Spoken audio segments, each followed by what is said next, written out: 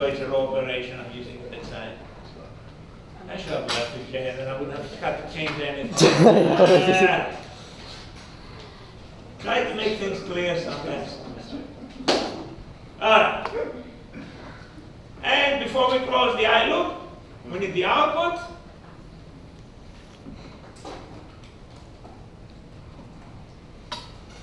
So, output And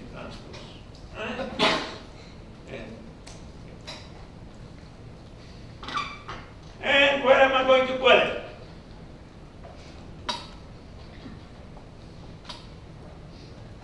I'm going to Excel. How about if we put it below the A matrix? How about if we put it here? Right? So we have a little bit different thinking. So we don't always do the same thing. Oh, Right, Colin?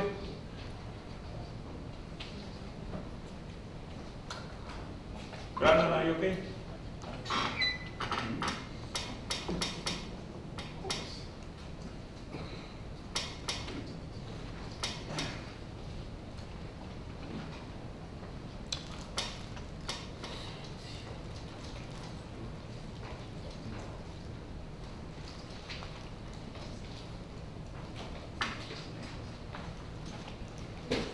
So, let's figure out where we're going to put it.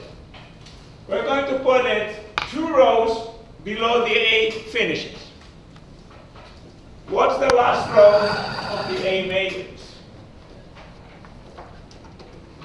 A and N fits in a row n plus 1.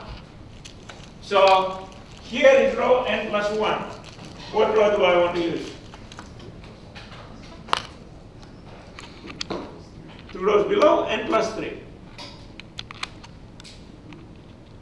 And I place the role of column here, okay? So is not left to J. Well, that makes it different. But if I, on paper, I wrote it like. So we go back to the program. We want to put cells.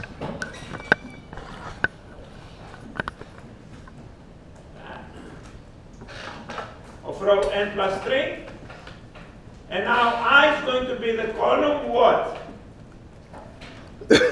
I want the first column, here was j plus 5, I want to be i plus 5. I plays the role of j now.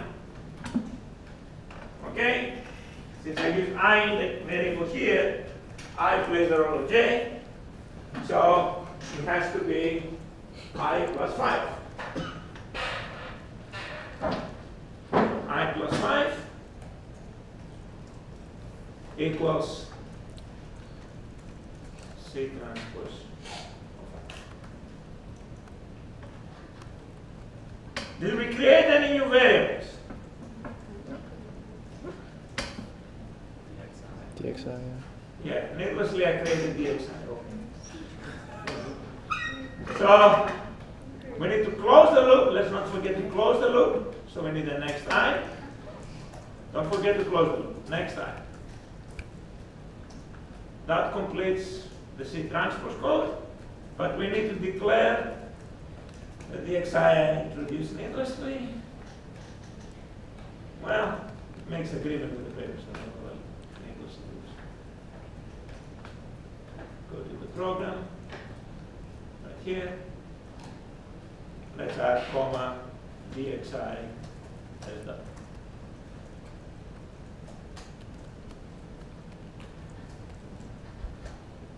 And that's all there is to it, guys. We just finished the only program we're doing in this class.